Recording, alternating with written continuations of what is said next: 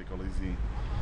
V prípade, že pri tom, tento systém sa má ísť zaktivovať a šofér, čo je len ťukne do brzdového pedálu, ten systém je bezpečnostný systém ako airbag, čiže on tam nie je na to, aby ľudia sa na neho nejakým spôsobom spoliehali.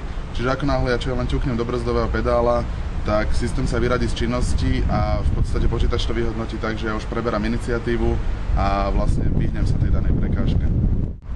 Čo je dôležitá vec, že systém sa dá aj vypnúť. Mnohí ľudia majú radi, keď sa dajú tieto opcie všetky možno bezpečnostné povypínať, takže ani toto nie je problémom pri X60.